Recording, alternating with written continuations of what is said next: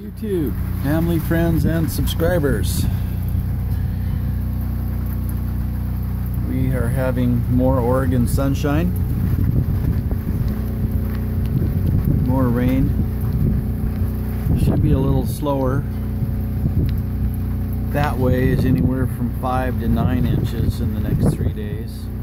Right here, it's probably going to be about four, four and a half but then the snow level is going to come back down so I don't think we'll get a whole lot of flooding. It is raining on top of snow at 3,500 feet and there's a foot and a half up there but it's cold enough it's not melting real fast. And that's good news. So we've got some good news here. I'm running the generator to charge the battery bank and this inverter historically, when it's charging batteries, has gone into float mode too soon. And one of the problems was that I didn't have a temperature probe, so it was going into a default setting. So Roy Amberg says you've got to get a temperature probe on there. You don't have any idea what you're doing. So we did that, and that helped compensate the voltage and that also helped it to stay into absorb mode a little longer and right now it's in absorb mode. The other thing I did is I returned the battery bank size pot down so that the return amps that it was looking for would be less. Obviously a larger bank it would see going into float with a larger return amp. When you have a smaller battery bank obviously the amps are going to be less when it's fully charged so it uses that as an indicator for when it goes into uh, float mode. So turning this all the way down is cheating a little bit, making the inverter think uh, that it's not fully charged yet.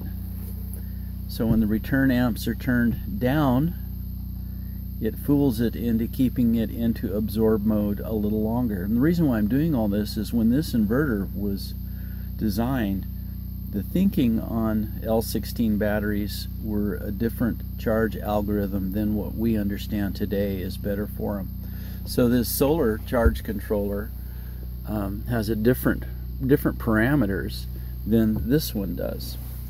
So actually when this one goes into float, the solar charge controller can put about another 25 amp hours into the battery bank. So my concern was that the batteries uh, weren't as charged as I would like them to be with the new parameters or, or the new algorithms that they have for these L16s. So I discovered something else, and Roy, if you're watching this one, uh, this one was a no-brainer. I don't know why I didn't figure it out. When the solar charge controller is on, and even though it's gray skies, I am putting out two or three amps, and when the charge controller, solar charge controller is on, and since it goes to the same bus on the shunt for the battery monitor, the charge controller uh, attaches there as well as the inverter charger attaches there. So when the charge controller for the solar is putting two or three amps in, it this inverter thinks, oh, well, everything's fine. I'm going to go into float. So what I've been doing on cloudy days is I've been turning the solar charge controller off so I don't have this artificial voltage going down to that shunt. And guess what? It stays in absorb mode longer. Let me show you how much longer. According to my battery monitor, I'm down a minus 7.2 amp hours. So I'm getting very close. According to this, I should be in absorb mode still. Now let's go ahead and look and see where the batteries actually are. I'm at 99%. So the fact that the inverter charger is still charging the batteries is really good news. Before, when I had the solar charging at the same time, the inverter charger would go into float mode when this was at 96%.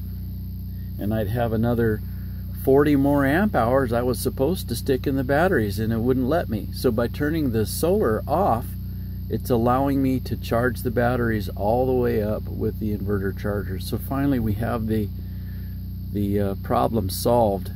It may have been understood all along that I had been turning my solar off while I was using my inverter charger. It's just something I didn't put together until now. So my amp hours, I'm down 6.9 and about every two seconds it goes down a, a hundredth. so 6.96. So 6.95. So about another 12, 14 minutes and this thing should kick over into float. And when it does, I'll turn the generator off, I'll turn the solar back on, and even on a gray day like we have today, I'll have enough solar production to keep my batteries at 100% going into the evening hours. And that's what happened yesterday and it worked great. So problem solved. I need to turn my solar off while I'm using my inverter charger if I want the inverter charger to charge the batteries all the way. Now, most times when I have more sun than I do, I but not enough to get a complete charge, what I would do is I would run my diesel generator and use the inverter charger to put 100 or 150 amp hours back into the battery bank, you know, bulk them good. And then when this starts flashing like it is now, it's in absorb mode, I turn the generator off and let the solar finish it out and I save a lot of diesel doing that. It's just too uh, too stormy today to do it that way. So the way we do it is we run the generator in the morning and then let what solar we have finish it off in the afternoon. Some people do it different than that, but that's what works for us. Anyway, hope this helps somebody. Our dilemma is now solved and have a very blessed day.